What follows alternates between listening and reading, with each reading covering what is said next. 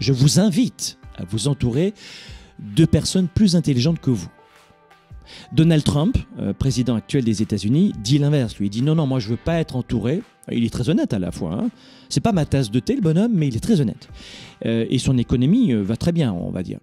Mais il dit non, moi je veux, je veux être le plus intelligent de la pièce. C'est une connerie, ça. Il faut pas être le plus intelligent. Et c'est faux. Enfin, en tout cas, moi je pense que c'est faux.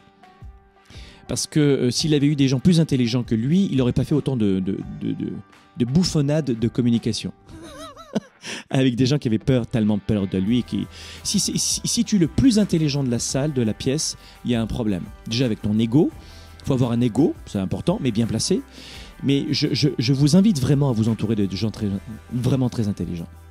Dans toutes mes équipes, moi, je fais en sorte de recruter des gens qui ont des compétences ou un profil, j'en parlais hier avec un collaborateur, euh, euh, qui ont un profil de communication qui sera souvent complémentaire du, du vôtre.